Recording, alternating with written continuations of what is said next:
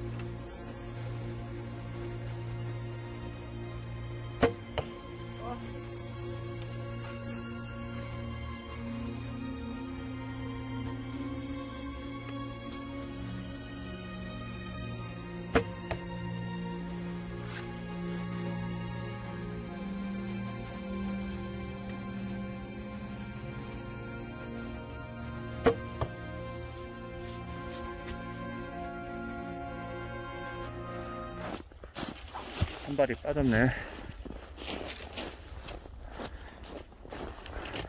이 활이 길들여지면 엄청 잘 맞을 것 같아요. 어, 그렇게 잘 맞은 건 아닌데 그래도 뭐 한 발 빠졌네. 끝. 이 F177 이거 라이저가 되게 잘 맞아요.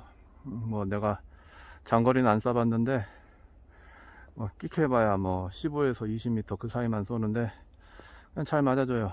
그뭐 오래 하신 분들처럼 그렇게 뭐 제가 잘 쏘는 건 아니고 그래도 뭐 쏘는 대로 들어가 주니까 굉장히 괜찮네요.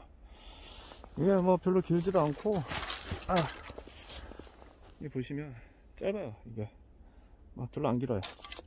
그리고 이게 준신 건데 림이 자꾸 터져가지고 국산 거 국산 거 뭐 삼익이나 뭐 에픽 이런 거 만든다고 해가지고 그거 사서 꽂으니까 음, 잘 맞아요. 그러니까 그냥 골라서 잘 알아보시고 뭐 활꾼이나 뭐 DC 이런 데서 물어보시면 다 대답해 주니까요. 처음 하는 거라 참 되게 창피하네. 끝.